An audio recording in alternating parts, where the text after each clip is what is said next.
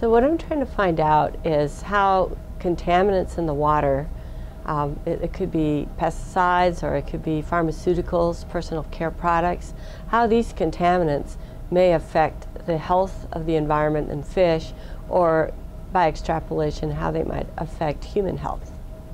We do two kinds of exposures. One in the laboratory where we treat the fish with uh, contaminants in aquaria or otherwise, we might go out to a field site where the fish are swimming and, and you know, are maybe below a sewage treatment facility and then examine them there.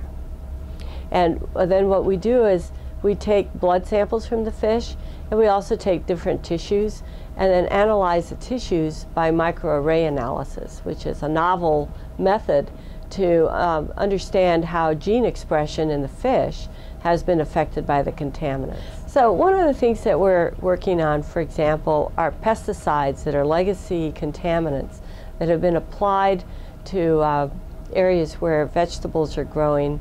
And uh, these are persistent chemicals, and they get into the food web and they get into fish and they impact fish. And some of these are pesticides such as para-DDE and um, dieldrin, among others.